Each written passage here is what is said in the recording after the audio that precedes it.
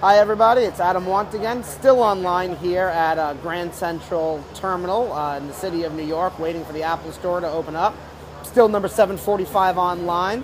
This is a really good time to talk about what to do with your old iPhone that you're selling. Um, traditionally, I always sell my old iPhones on Craigslist or eBay after I forensically wipe them properly. And um, I usually get maximum value for doing it that way. There are easier ways to do it, however. Uh, we all know about Gazelle.com. It's been around for a couple years now. It's a very easy way to sell your iPhone, your old iProducts.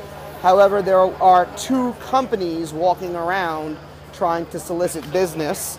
Um, the first one is usell.com, and the second one is um, called iCracked.com.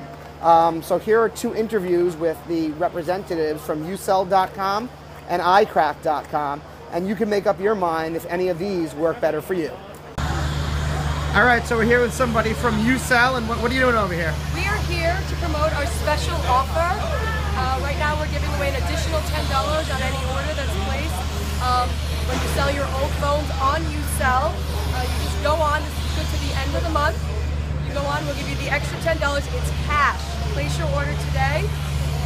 Really easy. All right, cool. Thank you very much. Thank you. You're uploading it now? I'm uploading it right now. Awesome. All right, I'm with iCracked. You can go to iCracked.com backslash sell. You can get the iCracked app, and we usually offer more than what you can get through your um, carrier or through Apple. And if we don't offer you more, you get cash for it. So you're not obligated to use it right then. It's not credit. It's for you to use for whatever you like for your accessories or anything. So iCracked. Thank you very much. Thank you. Yep. And they come to you. They're iTech. So they come out to you. You put a spot where you want them to meet you, and they come and they do everything for you right then and there. It takes less than 30 minutes. They also do repairs as well. So you don't have to go to them or mail anything in. Everything comes straight to you. Thanks.